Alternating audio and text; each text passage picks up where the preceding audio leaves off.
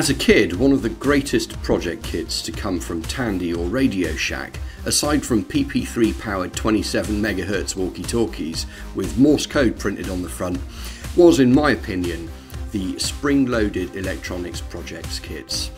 I got one here, a very kind donation, and but before we uh, kick off, I just wanted to uh, offer up a quick potted history of Tandy Radio Shack, uh, formerly Radio Shack Corporation. Um, it was a trader as an American retailer founded in 1921, which operated a chain of electronics stores for more than 50 years. Um, it uh, closed down in 2017 when uh, it had, uh, I think, 28 corporate locations and 425 independently owned authorized dealer stores. At its peak in 1999, it operated um, in many different countries and uh, filed for, for, bankruptcy, unfortunately. Um, I think uh, it was the mobile phone market, the deal that it signed with Sprint that killed it. Anyway, um, a very kind anonymous donation to the cave, a rather tatty, beaten, sprung loaded electronics kit.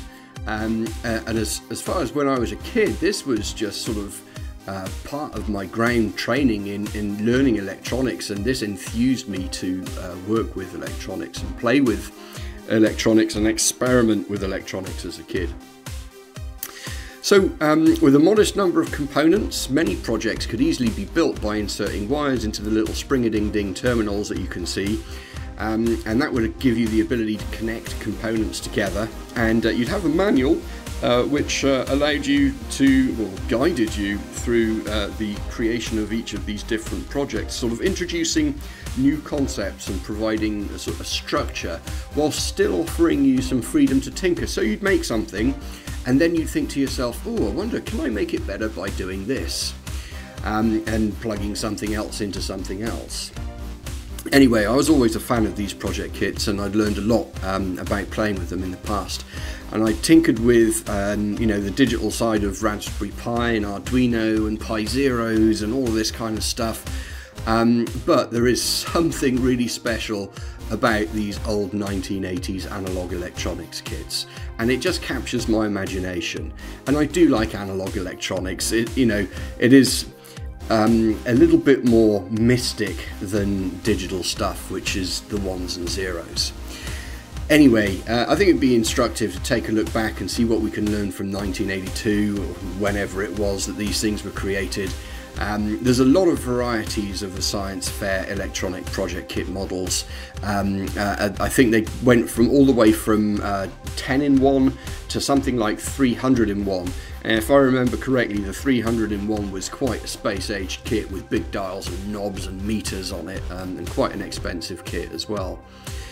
But um, yeah, these came out when I was about five years old, and uh, they were made in Japan specifically for Radio Shack and imported for resale.